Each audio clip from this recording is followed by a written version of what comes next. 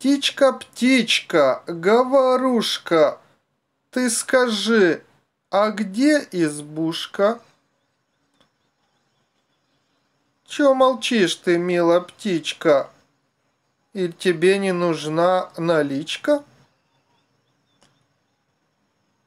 Ну, как хочешь, так молчи. Захочешь говорить, скажи.